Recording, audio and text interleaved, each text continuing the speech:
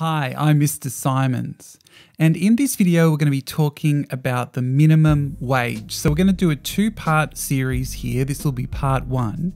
In part one, we'll talk about the economic theory about the minimum wage. So, we'll define the minimum wage, we'll show what it does to labour market equilibrium, really go through it from that economic theory perspective. In the second video, we'll take ourselves out into the real world. So we'll have a look at what economists say in terms of the impact of the minimum wage on labour markets and on the economy. Because one of the interesting things about economists, they can't agree. There isn't a consensus on whether a minimum wage is good or bad for employment. So, what we'll do is we'll start from the basics. We'll go through that economic theory perspective and then we'll jump into the real world.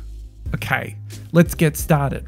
So, the first place to start is to think about the labour market, so the market for workers in an economy. If we think about the market itself, that supply, supply relates to the supply of workers, of individuals who are willing and able to supply their labour to earn a wage. Then in the labour market, demand relates to firms because firms are the group that want that labour. They want those people to help them produce goods and services and to earn revenue in the economy. So, where the demand for labour, so the firms, intersects with the supply of labour, individuals, we get um, labour market equilibrium. And the price equilibrium is the wage. So, the wage rate um, that corresponds with the equilibrium amount of labour in an economy. So we're just thinking about that point A, where demand and supply intersect, we get wage equilibrium, and then we get quantity equilibrium. But the point of a minimum wage is to say that this equilibrium is not right, that for some reason the market has got it wrong and it's created an equilibrium wage which is too low. So, this is a really important thing to think about that a minimum wage is a response by the government to the equilibrium wage, which it believes is too low for those workers. So, what the government says is it says that the wage equilibrium is too low. So, what we need to do is we need to lift that minimum wage higher. So, what they're doing is they are intervening in the labour market and they are doing price intervention.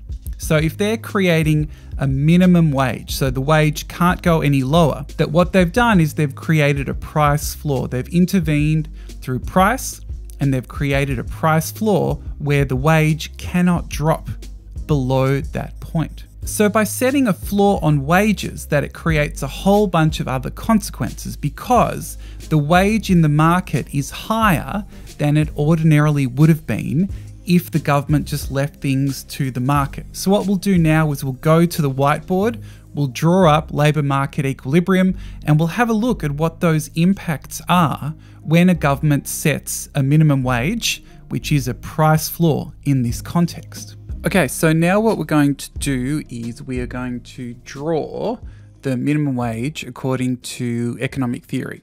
So, what we'll do is we'll start with a regular kind of labour market. So we've got our wage rate, we've got zero, and we've got Q all taking place here. So let's create our curves. So we've got point A, which is labour market equilibrium, which is the intersection of demand and supply. A couple of things we can add here. We can remind ourselves that supply is the supply of labour, which relates to individuals, and demand here comes from firms. And we've got wage equilibrium and quantity equilibrium. Something we might add is that that is quantity of labor, just to remind ourselves we are in this labor market. So, like we were saying at the start, that what the government has decided is that WE is too low, that this equilibrium wage level is too low, and it's going to set a higher wage, the minimum wage. So if we have a look at what this might look like is we've got this idea that wage equilibrium is too low. And that if we think about who's actually saying that, it's the government. The government is saying wage equilibrium is too low. So what it's going to do is, let's grab orange here, grab a shape here.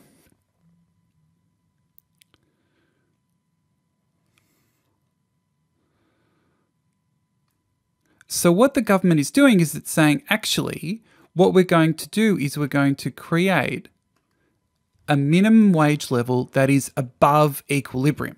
So if we look at W1 in this context, this is the government created minimum wage. Now, I would call this W1. Um, you might call this W min if that's helpful in the sense that that's a minimum wage. And the reason that this is a minimum is that this is the lowest level that wages can go. So if we draw our person here, that this is a floor here. So that W1 is the government created minimum wage. And what we can say is that this has the impact, or that actually better, this is an example of a price floor, that the wage cannot drop below this level. That's why this person is standing here. The important thing to know is that whenever the government does something, it has its reasons for doing it, but there are unintended consequences of its actions. So in this situation, the government is trying to increase the wage level to give more income to people that are at that minimum wage level. But certain things are going to happen in the market when it intervenes. One thing we could talk about is that this is a price floor, so that this is this is a form of price intervention, not quantity intervention.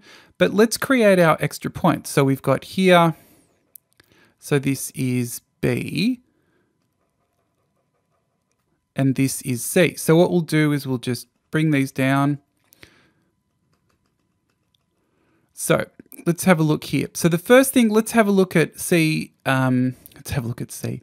Point C is where the minimum wage intersects with the supply curve. So we'll call this here, this is QS, because this is where it intersects with supply. And you can see here that we could just easily add the D there, that this is where it intersects with quantity demanded.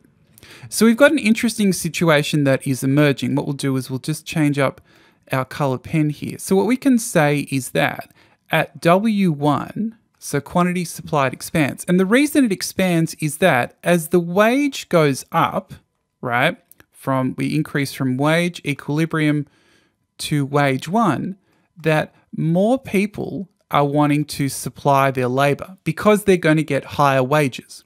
So again, when the wages go up, more people wish to supply their labor. And it's an expansion because it's motivated by price.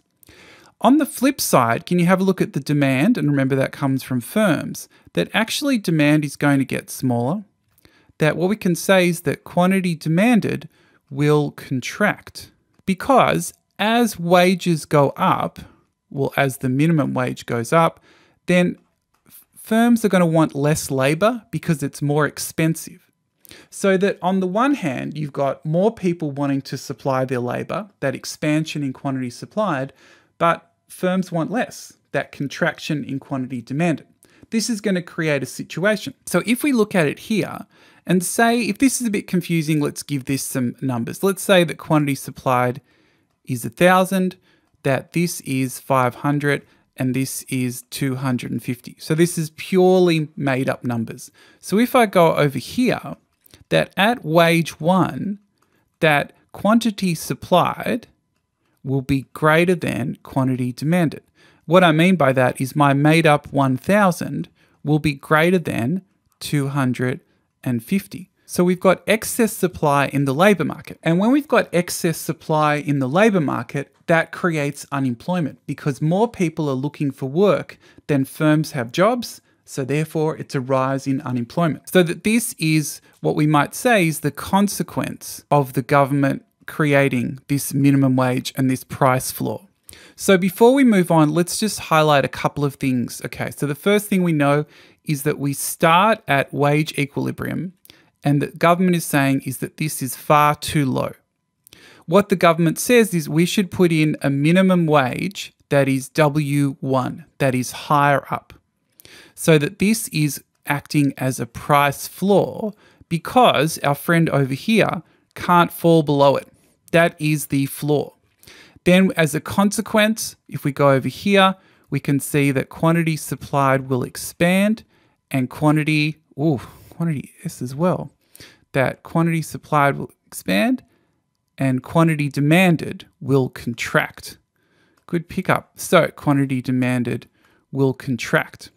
And then as a result of all this, we'll put this in green, as a result of all this, if we've got a situation where quantity supplied exceeds quantity demanded, we have excess supply of labour and a rise in unemployment. And that's the economic theory of uh, the minimum wage and how it will affect market equilibrium.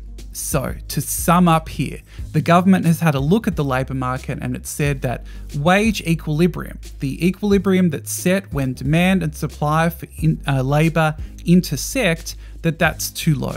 So the government is saying, let's lift the wage. Let's create a minimum wage that is higher than equilibrium, and this is a price floor. But it's very important to know that this intervention this form of price intervention has consequences, as we've seen with the graph.